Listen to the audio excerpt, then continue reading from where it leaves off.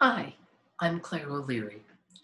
I'm a survivor's healing catalyst and a Reiki master. I'm here today to share a little bit about how I became a healing catalyst and why it's so important to your healing as an incest survivor.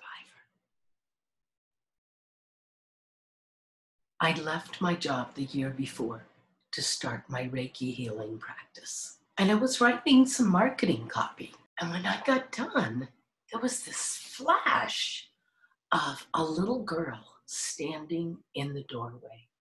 Tears were streaming down her face. I'd seen this little girl several times before, but I chose to ignore her. I knew as a Reiki master that it was time to pay attention. So I tuned in, really got myself grounded, got my journal, and I started writing. And as I'm writing, I can feel everything. I remember all the details. For the first time, I am now sure that yes, this was my, my uncle. Before that, I had a vague image of somebody, but I wasn't sure who. I felt everything, absolutely everything. Tears are just streaming down my face as I write. My parents had said, Don't go in the bedroom, you'll wake up your sister.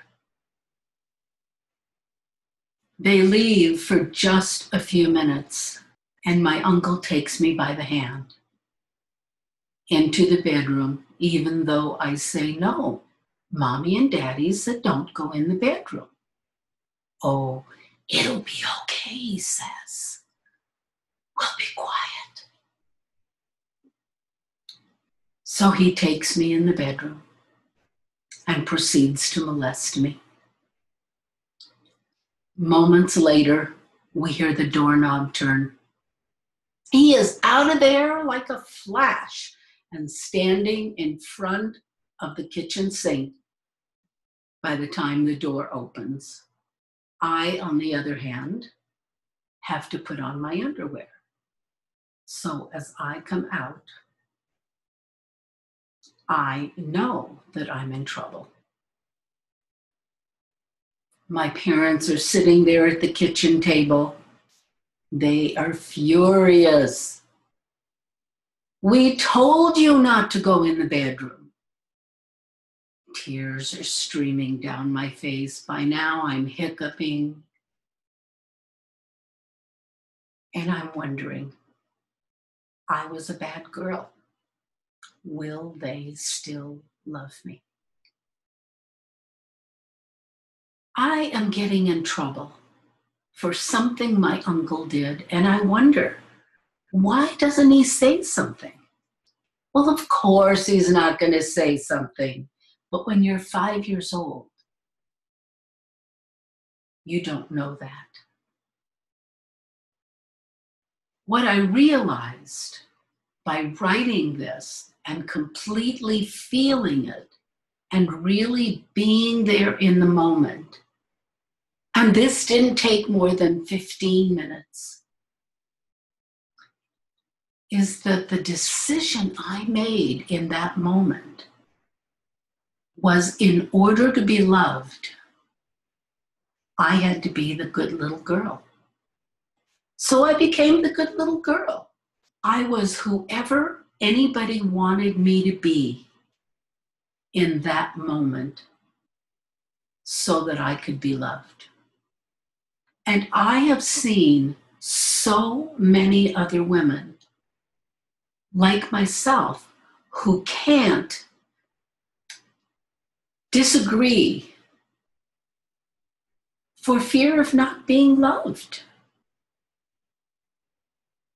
who can't say what they mean, who feel like they have no voice. It's stuck, completely stuck in their throat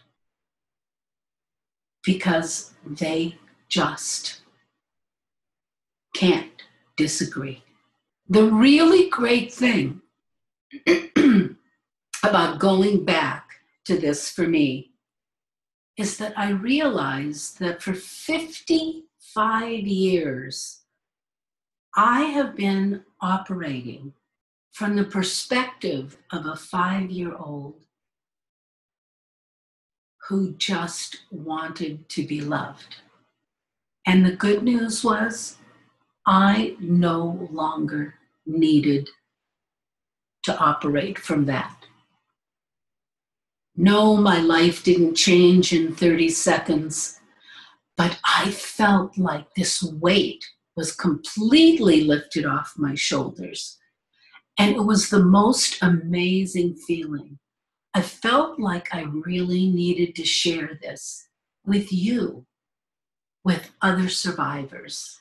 I became a survivor's catalyst, a healing catalyst, and started doing workshops. And I didn't really claim incest survivors as my audience. But every time I did a workshop, there were two, there were three, there were more. And every time I did one, more and more incest survivors and sexual assault survivors would be in my class. Until finally, it was 100%. Every single person in my workshop was a survivor. They'd come to me because I had finally learned how to heal. And I use all of the things that I learned to heal to help them through the anger, through the pain, the shame, the blame, the self blame, to really help them move through all that, to reclaim their voice, to be self empowered, and to be able to have those really close connections with people that they have craved all their life. To feel seen and heard to be seen and heard. And that is why I do what I do. I invite you to take some action today towards your healing path. What is your next best step? Chat with me absolutely free for 45 minutes to discover where you are in your healing journey? Where would you like to be in just a few months, or maybe even a year or more? What's holding you back?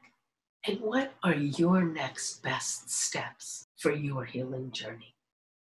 It could be working with me, but it may not. Click on the link below, schedule your appointment. It's completely free. I look forward to seeing you soon.